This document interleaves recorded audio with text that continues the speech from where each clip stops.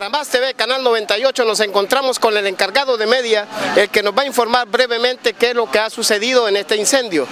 Voulez-vous dire la, la explication que vous avez donnée tantôt? OK. Euh, on, on a eu un, un appel vers euh, 14h27 euh, sur, la- sur une intervention 90 sur les 16 Saint-Michel. À l'arrivée des pompiers, le feu euh, fait rage au niveau du sol. Euh, on parle d'un bâtiment commercial au premier étage, résidentiel au deuxième. On a évacué le bâtiment. Il n'y a personne de blessé pour le moment.